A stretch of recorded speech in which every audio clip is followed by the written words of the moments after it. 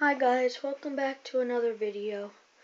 And I just wanted to say my team for baseball were the Cardinals. We are going to the gold game tomorrow.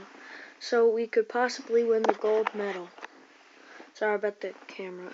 So and I'm also going to be showing you how to solve like the triangular puzzle eraser. So here it is. So you get, um, there's different colors, but for me it's yellow. It looks like that on the bottom, like two, that, and then get, uh, for me again, it's blue, has that. Sorry, it's not like clear, really focus. And then it's like the same kind as the blue, but a different color. Then um, get a piece shape like has that and like two ends and you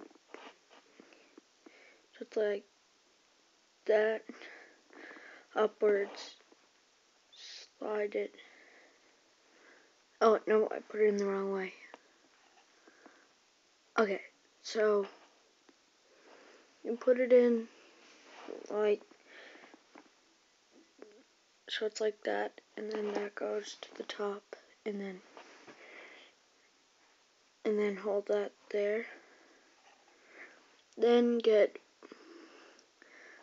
like the same shape